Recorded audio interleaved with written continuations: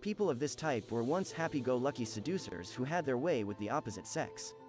But the day came when they were forced to give this up, someone corralled them into a relationship, they were encountering too much social hostility, they were getting older and decided to settle down. Whatever the reason, you can be sure they feel some resentment and a sense of loss, as if a limb were missing.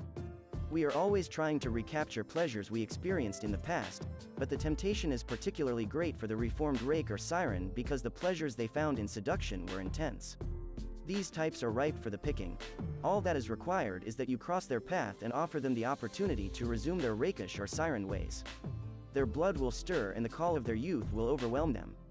It is critical, though, to give these types the illusion that they are the ones doing the seducing. With the reformed rake, you must spark his interest indirectly, then let him burn and glow with desire.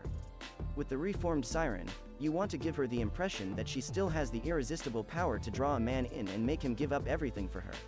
Remember that what you are offering these types is not another relationship, another constriction, but rather the chance to escape the corral and have some ran.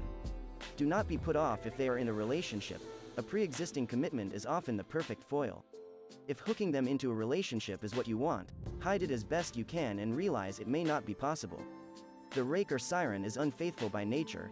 Your ability to spark the old feeling gives you power, but then you will have to live with the consequences of their feckless ways.